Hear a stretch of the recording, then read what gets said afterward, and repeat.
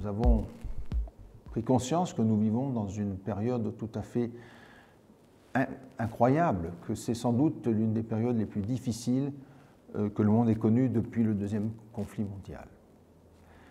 Euh, c'est un moment de grand questionnement, de grands doutes, de grandes incertitudes. Les théories les, plus invraisemblables euh, font leur apparition. Et je crois que c'est une période où il nous faut, il, nous faut nous poser les bonnes questions.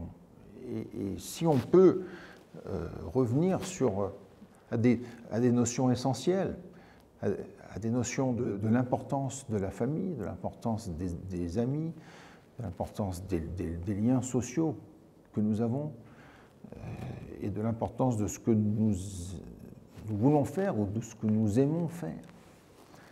Je, pense que c'est aussi une, occasion de se recentrer sur, sur tout cela, sur les choses importantes, sur, et bien sûr aussi sur l'impact que nous avons sur notre planète euh, et de voir euh, quelles seraient les meilleures, la, meilleure façon ou les meilleures solutions pour euh, rétablir ce, lien entre l'homme et la nature, entre la santé de la planète et la santé humaine, la santé animale et la santé humaine.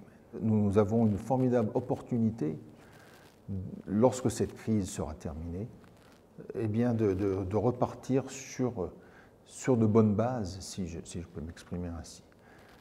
Que cette période de, crise sanitaire et de crise économique et sociale qui en, qui en découle, c'est un signal d'alarme. Fort de ce signal d'alarme, il faut que nous en prenions euh, toute la mesure et que nous mettions en place euh, un mode de développement euh, qui soit non seulement plus juste et plus équitable, mais beaucoup plus durables et qui nous permettent de, rétablir euh, ce, lien, je, me répète, mais entre l'homme et la nature et entre tout ce que la nature peut, nous apporter et doit nous apporter. Et ça doit nous aider aussi à mieux vivre et surtout à survivre sur cette planète.